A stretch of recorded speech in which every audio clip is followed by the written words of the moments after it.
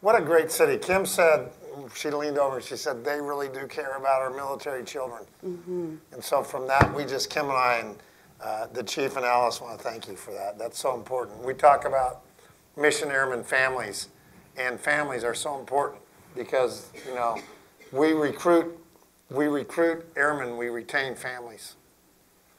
And thank you for doing that. It's a great city and it's got a great spirit to it, so it's really cool being here with you. Some in the room were with us last night when we were, uh, our city was given the Altus Cup for what our city does to support Goodfellow, actually a partnership with Goodfellow. And they, the, the Kim Jose and some of her other staff, and that's why we're so grateful for you guys coming, uh, or had a, something they couldn't get out of, even with a little clout. But I was given a battlefield promotion last night. So I'm going to wear this, General, since you gave it to me last night.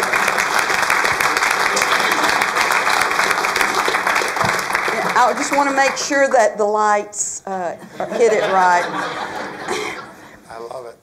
I Uh, it. when I saw uh, Joran a few, a couple of three weeks ago, um, he gave me this book written by his chief master sergeant that he had worked was your partner for three years, two in Arizona, and then one in the heat in the hottest year, if that's possible to say, a battle in uh, Af- uh, Iraq. Right. And um, General Rand is a, as I said, is a fighter pilot, and so he was in harm's way every single day. And this book, you uh, not edited, well edited about the content from his diary, but Chief Deerduff, we discussed at dinner last night, and um, I loaned it, and Charlie Powell brought it back to me this morning. And you all know I loan my books. Uh, just leave me a sticky note who has it so I can come after you. But what not only did I learn about that year when uh, tw- 24 hours a day, seven days a week, it was, uh, I'm just going to call it hell. Um, he also captured the leadership qualities of Joran. And his, I'm really going to ask you a question. There's a question coming. Okay. Um, he, everywhere that I know, from here, Iraq, to, uh, yes, to this assignment at, he was purposefully put at um, over Joint Base San, well, over AETC. Uh, because, and there, if you well know, because we keep up with the news here, um, a lot of things were happening there about sexual assaults. And he initiated and was unveiled over the last few weeks the process that he has and his team have researched to put into place that all the way up people are going to be reminded every constantly about making good choices and professionalism. And then he did that so well, as many of you know, when you do something really well, we give you other opportunities. And now, in a few weeks, uh, they're going uh, to the next hot uh, need um, besides overseas, and that is to make the situation of the morale and the cheating at, with the nukes. And so he will be changing to the uh, Global Strike Major Command. And I'm not happy, but I understand, told, and I've told both of you, I knew when General Welsh knew I wasn't going to be happy to, to lose him early. We deserved you two years. Right.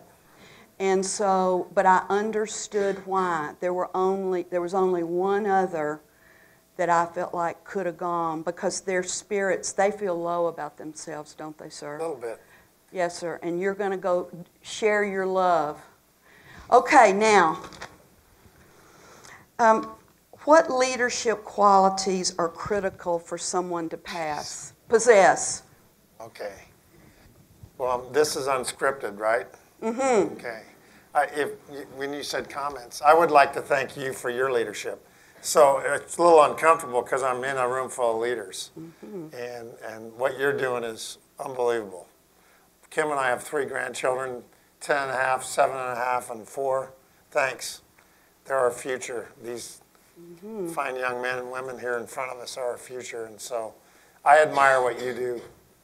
Um, let me just say about that question I think leadership can be taught. So that's one thing I've come to adopt in my life. There are natural leaders, there are people who have wonderful skills, they're charismatic, they dance well on the dance floor, they can run the 100 yard dash really fast, they're gifted, you know, they can speak well. Those are God given gifts, I think, to some mm-hmm. degree. But leadership can be taught. And it comes in all sizes and shapes and packages. But there has to be some traits that good leaders have. And you can develop those traits. And so I'm often asked if I were to pass on, what would that be? I would say the first thing to be a good leader is you have to know your mission. What's your mission? What's your mission? And then you have to articulate that mission to the people that you're leading. They got to know your mission. That's key. Know your mission, articulate your mission. Number two, I think a good leader has to be an effective role model. You have to try to live by what you're asking others to do. I think that goes without saying. Not rocket science, is it? None of this is, is overcomplicated. I think a good leader needs to make sure that they don't walk past the problem without trying to fix it. A lot of times people just kind of will look the other way, ignore it, hope it goes away. Take it on identify it. If you can fix it, fix it. If it's beyond your capability, at least identify it and let someone know who can fix it go about doing that. I think that's important. To me, a good leader is someone who's humble. Humble, with the chaplain in the room, I think is a term people confuse with being meek and mild. I don't think that's humility at all. Be whoever you are. If you're outgoing, be outgoing. If you're meek and mild, be meek and mild. But humility is deflecting credit to others when things go well. But more important than that is accepting re- responsibility when things are broke. A leader has to take responsibility. And then I think a leader has to be approachable. People got to be able to come up to you. They say there's no such thing as a you know, a dumb question, right? There's no dumb question. Well, there are dumb questions. but it doesn't matter. If you're asked that dumb question, how do you make people feel about it? Do you make them feel dumb when they ask that? I think that ability to people to approach you. You might say to them, I don't know the answer to that question, but I'll look it up with you. Let's go find the answer together. Or, hey, here's your homework assignment. Tonight, go on internet. I want you to Google X, Y, and Z. And come back tomorrow and tell me what you learned. That's what an approachable leader will do instead of saying, go away, that's the dumbest question I've ever heard. We can go on and on. There's a couple others. A leader needs to be able to say three words, not very often, but when appropriate I am sorry. I am sorry. I think that's important. And then I guess the last trait I think of a leader is you have to have balance. You know, you don't want to be full scale left or right on your emotions. But I think people need to see that you can laugh. And occasionally people maybe can see that you can cry. Be able to show reality to folks. Those would be some of the things that I would submit to people if you want to improve your leadership skills, all those you can work at. My wife would add to that. She'd say a good leader needs to be a better listener. I'm not a good listener, so obviously I have a lot of room for improvement. We could go on and on, but I think those are some of the things. The, the reason this is in, interesting, there have been books written on leadership. You know, we could talk for this entire day, all week, into next week, and through the month about leadership, couldn't we? Mm-hmm. So, how do you scale it right down? I would submit to, I guess, the young guys and gals here pick about five or six traits and work on those. And then over time, you can add to that. Did I answer your question? That was pretty good. Okay. Okay, who has had in your life the greatest impact as far as your leadership? And yeah Well, I think you have to have your foundation, you know. You get your foundation built on a lot of things. A lot of us get it through our family. A lot of us get it through faith. Uh, in my case, faith came a little later in my life. So it started with my, my dad. Um, but I certainly am a very flawed person, but I certainly, personally, you know, am a believer in the good Lord, and, and I think he was a pretty good example for us to follow. So I'd have to say that. Um, my wife is has a big impact on me because she's the one person that keeps me rooted and grounded, I think, and, and, and lets me know, kindly, by the way, but lets me know what some of my tragic flaws are. Um, I, I mentioned my dad. My dad was a good guy. And so, but so 36 years in this business, I, I got to tell you, you take from everyone. You take from everyone. You even take from those that you don't want to emulate. Okay? And there'll be a pretty good reminder I don't want to be that dude. And not pointing at Chief Good, I'd like to be that I'm glad you clarified that. So I think you take from a lot of people, but um, I've, it, the good Lord Jesus and my dad probably had the, for me personally. Can't get better than that. I wish you all could meet my dad. He was quite a guy. Yeah, he was something. He was a fought in two wars, was shot down when he was 21 years old in World War II. Um, 20 years later, he was shot down again in Vietnam. I told that story on Veterans Day one time, and I was bragging about him. After he'd come up to me, he said, "Son, I wish you'd stop telling that story." And I go, "Why, Dad?" He goes, There's nothing to be proud about getting shot down twice. it just means you weren't very good those two days. This is a, um, you're, you and I are rounding the last curve of our uh, professional career in these positions. Um, you have a little longer than I. Uh, What do you hope you will be remembered as your legacy? And that's a big word, legacy. I've already talked about and told them about your uh, uh, process that is incredible uh, that he's implemented down in at uh, Randolph and uh, Lackland. But what else? Well, gee whiz, Carol Ann, that's a good, tough question, don't you think? I don't give it much thought about legacy building. I really don't. I just think you work hard. And young man asked me today at breakfast, you know, what's your key to success? And I go, well, let's define success first of all. I mean, define it for me. Am I successful because I have four stars? To some, I guess they would say that's successful in the Air Force. Um, others would debate that.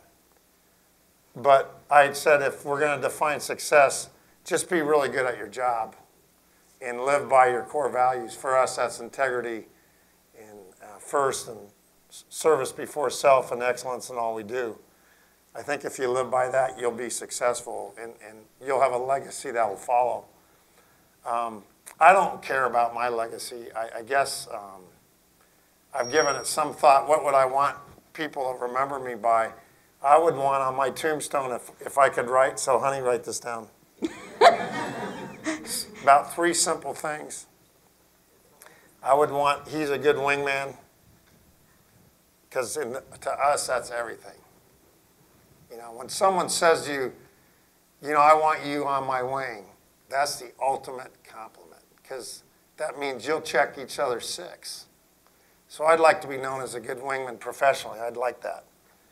Uh, as I get a little older, I wish I could undo some of the mistakes I made, but I certainly want to hopefully be remembered as being a good husband. And I'd like to be known as a good father. That's pretty good. Good, Good grandfather, right? There you go. Besides, in all of, we actually were hit with, we didn't call it sequestration in the school business, but we got, we had to reduce, we reduced, Jeff, 12 million or so, uh, three or four, yes, good, yes, ma'am. Now, I've noticed since the stars.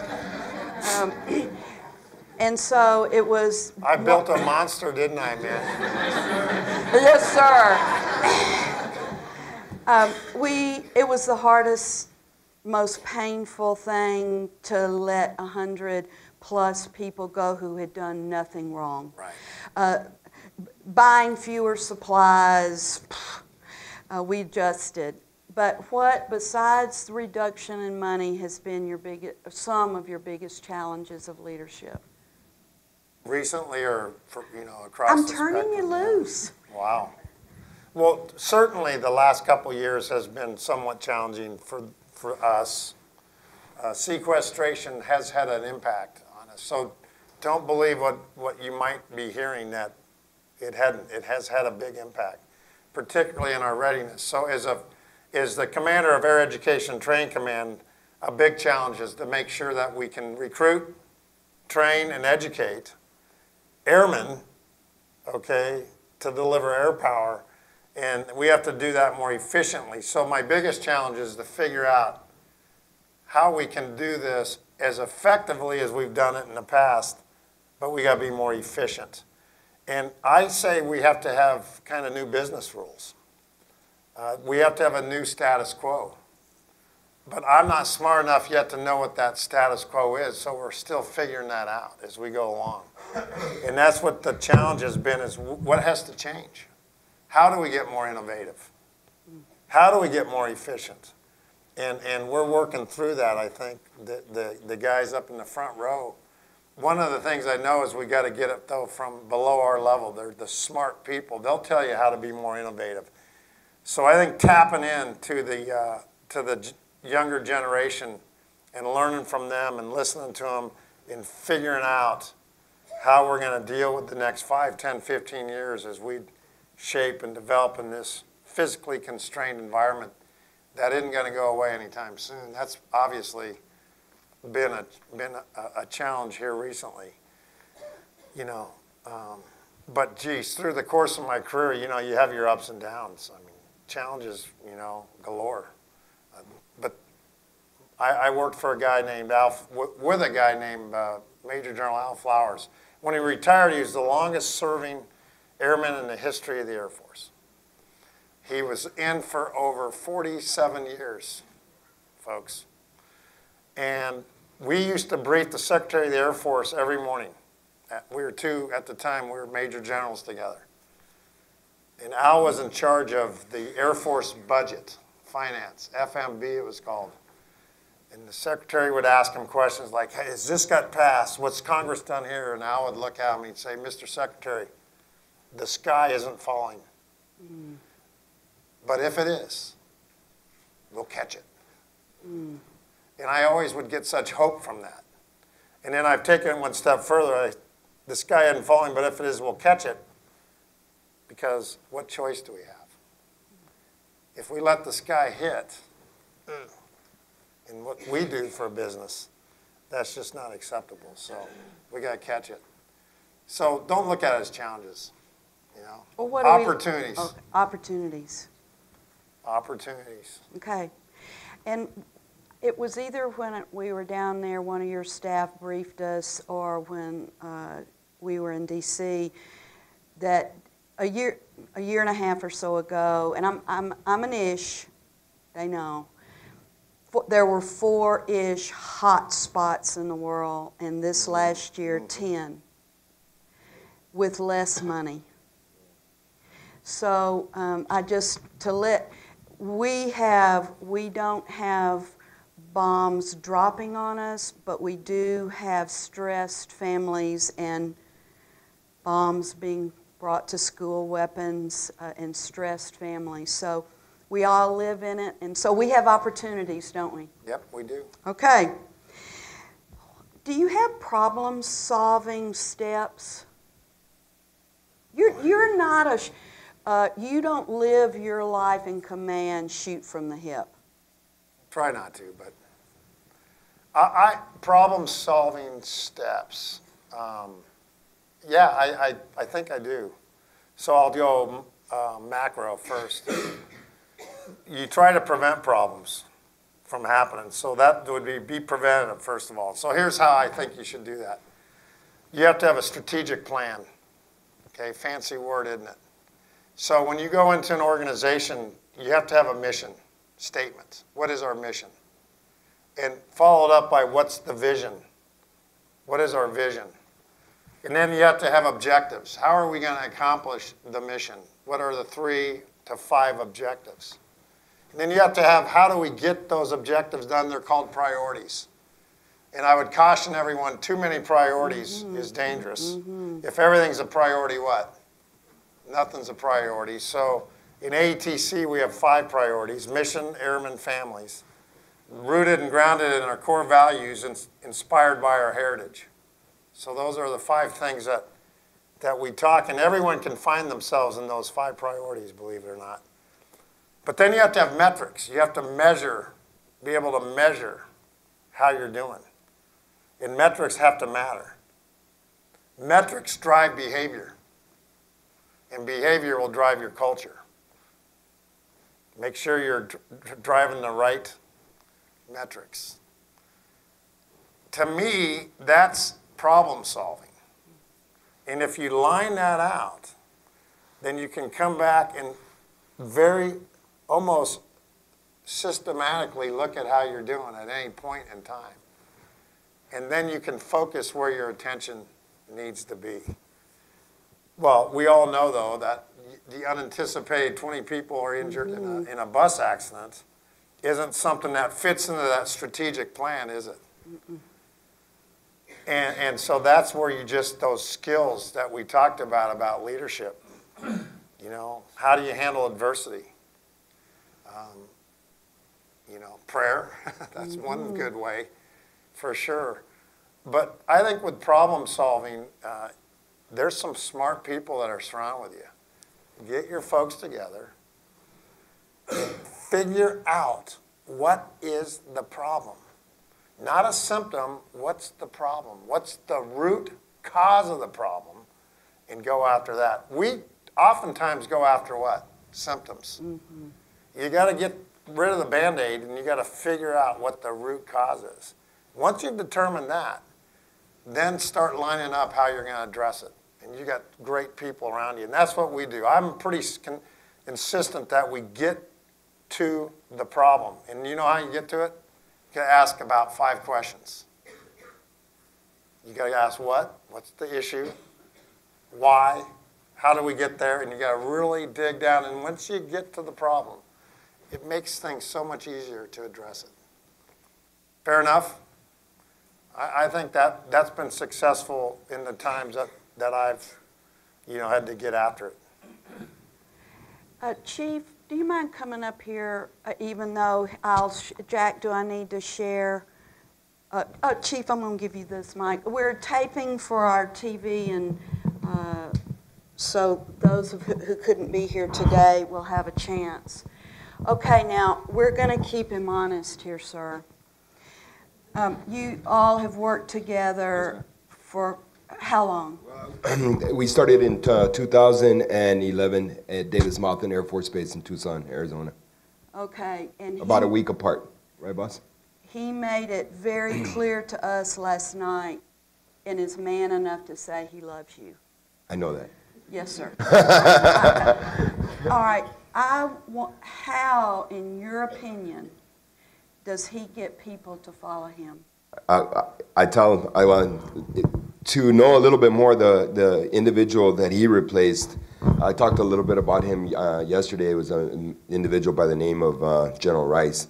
And I mentioned to a lot of people because General Rice is a, is a, a bit of an introvert. And I mentioned to him, I said, I think the, of all the people that I've ever met in my entire life, General Rice is probably one of the smartest. Uh, he, I don't think that there isn't anything that he did not academically uh, win number one and I mean from all the way from school to so but again very very introvert and he tackled a, a, a, problem a certain way. And I said, but of all the leaders that I've ever been um, around, I said, I have never seen anybody the way that uh, General Rand touches people here and here.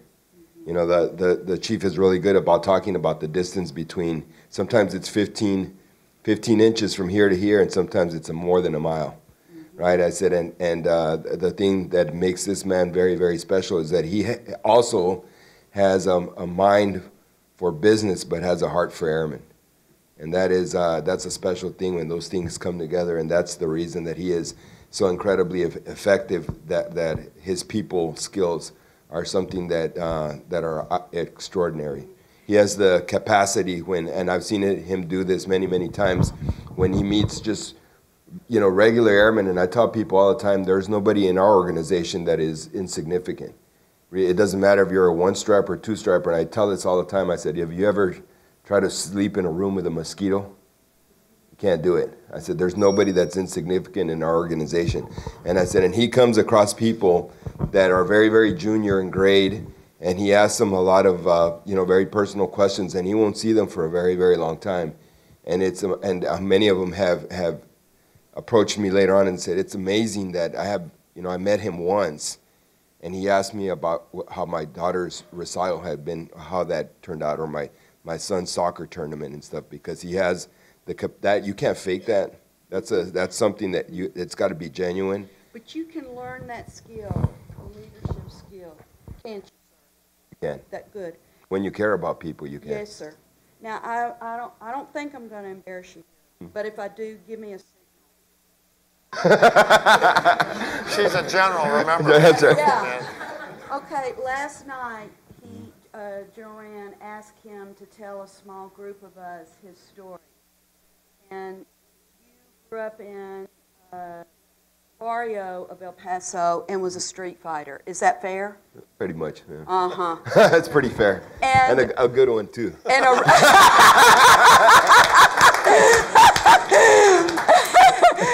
and you say it in your words. You joined the Air Force. I wish we had time for you to tell your you. story of the town city bully Yeah. that you finally won over. Is that Yeah. that's fair? that's fair to say. Okay, won over. Okay, but your story that was so powerful to me is you were in. The, you say it in your words. You were in joined the Air Force. I can't. I, I tell people that I that I came into the Air Force in 1985 and I joined the Air Force in 1989. All right, think about that just a second. Brent, how long does it take people to buy into a new head football coach? Uh-huh. Uh, the same with our leadership. It takes time, doesn't it, sir? Right, I did. So, but what happened? Tell them, you have to tell them this when, uh, and I don't remember the exact situation about when they were deciding if you were going to stay in Yes. or be. Yeah. So I, I and again, I, I don't mind telling you. I you know it took a long time to get the the the street part out of me, and uh, that's the the difference in those four years. And even when I came into the Air Force, I was not a good airman at, at you know at the beginning. We don't need the details. Yeah, you, you, I could write another book. We, we, we, we see it in our mind. So, but so yeah, there I came to a very uh, important milestone in my career where they used to have set up a board of, of individuals that would make a recommendation to your commander on whether or not to allow you to, to reenlist when you were on the fence. You know, good airmen could reenlist at the drop of a hat. We needed them to stay, but if you were, you know, if you had had some issues, you know, they would put this panel together and they would come in and they would make a recommendation. So seven people uh, came to make a recommendation to my commander on whether or not I was going to be allowed to reenlist, and all seven of them uh, recommended to him that I should go home, including, including a priest.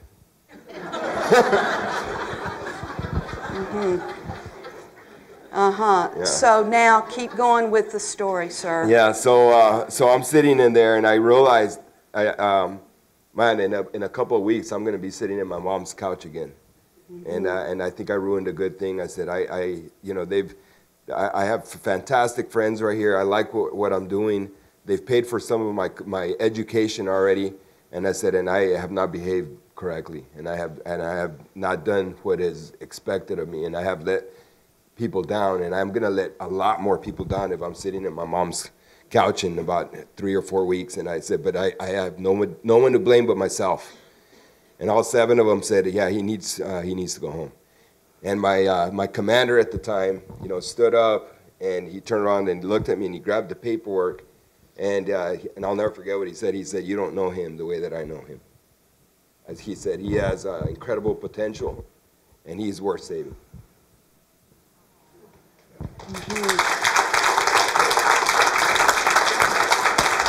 And, and did, what did the priest say? I don't know what he said, but I can. I, let me finish the story off for you. So, uh-huh. so he signs the paperwork to allow me to reenlist, and he says, "Come with me." And I was in my in a, my full service uniform, like some of these gentlemen are right here. And I remember going into his into his room, and he he yelled at me uh, for probably the next 15 minutes, and he was yelling. I'll never forget this because he was yelling so loud that his spit was landing on my uniform. I'll, that's not what we need you to do. But thank you for But- telling us but Yeah, that. but I told him, I, I promised him, I said that uh, he would never ever regret that decision. And the next day, I joined the Air Force.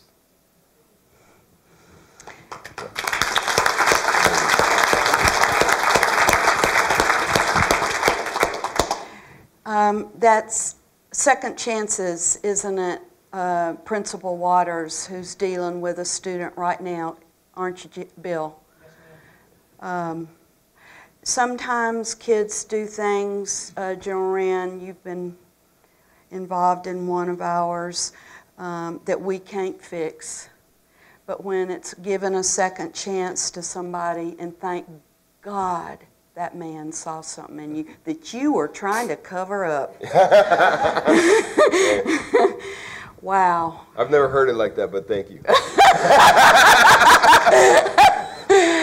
Wow. And uh, General Rand, you said last night um, you all uh, have really, there's a hard and fast rule that you all can serve 30 years. Yes, ma'am. Tell it. Sure. Um, so when I came here, General Rice stole Chief Tapia from me at my last job, and he had four stars at the time, and I had three. So that's kind of how that works. And Kim and I were very disappointed to lose Alice and the chief. Little did I know that seven months later I was going to come to AETC. To, so it was a great blessing. So um, Kim said to me, "We thought we were going to be here through the fall of 2016." So did I. And that was our plan, a three-year assignment. And Kim said to me, you know, we're not going to lose our chief again, right? And I said, I don't know. I mean, he hits 30 years in April of 2015. Mm-hmm. She goes, that isn't going to work. You got to get him to stay. And so I was able to actually go to the chief of staff of the Air Force and to Chief Master Sergeant of the Air Force and, and extend Chief Tapia out. So he'll be with us till next April. I don't know if now I kind of figured, what the heck, he's, I'm leaving him anyway, but for the good of the command, it's fantastic for those 62,000 airmen. And it's really important because there's that continuity. And, and he's helping move the ball down the field, to use a football analogy, and we need him in this command. So if Kim and I leave him and Alice, that's okay. It's good for AETC, but very, very unusual for uh, an enlisted person to serve past 30 years. So that's pretty cool stuff. You figured it out, Chief. It took me a while. Yeah. Hey, Carol, Carol Ann, can I tell one story, a leadership story? I'm turning you loose. It, it, because I look in this room and uh, there are people in authority, school teachers, right? Did I hear principals? Mm-hmm. Raise your hands. Let me see Principals and Our APs. principals, wow. Pretty powerful folks. Pretty powerful folks. So this is my story, le- leadership story about being a good leader. It's about power. Power can be a good thing, can it? You know, I got to tell you, when you make uh, colonel in the Air Force, it's, it's pretty heady stuff. When you make general, it's very heady. When you become a four star, you really can get full of yourself. You know, you have an aide, Major Cable, who drives you to places, and they're rushing to open the door for you. I have a front office. I've got secretaries. I have trip planners. We have enlisted aides at the house. It's heady. It really is. And there's power you can you can wield. You know, I can pick up the phone and on occasion I can make things happen just on a phone call, just on email. Uh, power can be good, but absolute power can absolutely corrupt. And so here's my story for you. I learned this. It was an epiphany I had, and my wife's the one who taught it to me. When I was a one star, I was stationed at Luke Air Force Base, and we came to San Antonio for a commander's conference. The commander at the time was General Bill Looney. Some of you mm-hmm. probably remember General Looney. I know Michael knows who he is, they're cousins. And we had come in with our command chief, at the time it was Chief Dearduff, and his wife Mags, and Kim and I. And we had a function that night to go to, and I went up to General Looney and I said, Sir, uh, if you don't mind, I'd like to skip the function tonight because we have an airman that's hospitalized at BAMC on the other side of town. And he said, Of course. He goes, No sweat. I go, We need to go visit him. And his name was Kevin Close, Senior Airman Kevin Close, who had just redeployed from Iraq. And the, six, the deployment went fine. He was, he was, had the world, you know, in the palm of his hand, and he was driving from Luke Air Force Base, mm-hmm. Phoenix, Arizona, to Southern California to meet his fiance. And on the way there, he got in a head on car accident, unfortunately, with a drunk driver. And Kevin's leg was amputated right above his left knee. And they sent him to BAMC to recuperate. And we walked in about three days after surgery.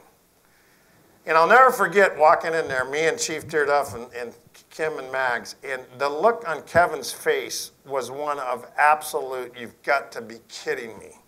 What did I do to deserve these two clowns from coming to see me? He didn't feel well. He didn't want to be bothered. And you could tell he was not impressed. As soon as the ladies walk in right behind, he perked up a little bit. Partly because they had all the jerky and the candy and all the goodies for him. And his father was with him, and his dad's name was Kevin Close Sr. And so I go, we won't stay long, and we started visiting. And we just chit chatted and whatever we talked about, which frankly I have no idea. But at about 15, 20 minutes into the conversation, he asks, Can I have my picture taken? And he was in a wheelchair. Now you have to realize since his accident, he had not been vertical since he lost his leg. And I said, You bet, Kevin. Chief, you get on one side, I'll get on the other. And I kind of took a knee so that I could be on his level for the picture. And he said, No, sir, I'm not taking my picture in the wheelchair. So he said, Dad, hand me my crutches. And they put these crutches under his arm, and he hopped up, and he was on balancing on one leg, and his face immediately turned pale, and sweat immediately kind of started forming and running down his face. I'll never forget it. I thought he was going to be sick, but he gutted it up, and he had that picture taken, and it had all the energy he could have left, and he plopped himself back in the chair. And, and we had our picture. And then I said, It's time to go. I have mm-hmm. overstayed our welcome. But before I go, I reached into my pocket and I walked up to his pop. And I said, Hey, Mr. Close, I want to give you something. It's our the wing coin. I was really proud of that coin. It was, it was designed by a guy by the name of Major Troy Gilbert, who about a year later was killed in combat. Who would have known it? But he designed this coin. It had 39 stars around the coin. That was the number of aces that the 56 Fighter Wing had it in World War II. It had a Roman numeral, 1322. That was the number of airplanes that the 56 Fighter Wing had destroyed in World War II. It had a Latin quote, Cave Tonitrum, beware the thunderbolt. And I was explaining it to his dad, and it said, presented by Luke 1. That would be me. Luke 1, Luke Air Force Base. And I said, Sir, I want to give you this coin. I go, I know Kevin is your son, but he's also part of our family. And I want to thank you for taking care of one of our own. And I gave him the coin. And he looked at it and he said, Well, General, thanks. But I think Kevin should get this coin. I go, That's a party foul. You can't give my coin away. I'll give Kevin his own coin. So I reached in And we left. After that, we left. And it was pretty quiet driving home, I'll never forget. We get back, it's 10:30 at night, we get to our queue room, we're getting ready for bed, and start undressing, and Kim looks at me and she says, honey, you know, until tonight, the- these are my words, she says a different story, but this is my story and I'm telling. She said, I never knew tonight, till tonight, how powerful a person you were. Mm. And I looked at her and I said, wow. Honey, I've been trying to tell you that for 26 years. Uh-huh. What brought that on? And she was serious. She wasn't kidding. She said, no, I, tonight I realized just how powerful you were. So, principals, listen to me. I said, honey, what are you talking about? She said, did you see the look on Kevin's face when you were giving his dad the coin? I said, no, my back was to Kevin. I was talking to the dad. She goes, Well, I was watching him, and he was looking at you like the moon and the sun were set on both your shoulders. He had this look of awe. She said, I've never seen anyone look at you like that. She goes, You are one powerful person. And she held up her finger. Don't mess it up. Mm-hmm.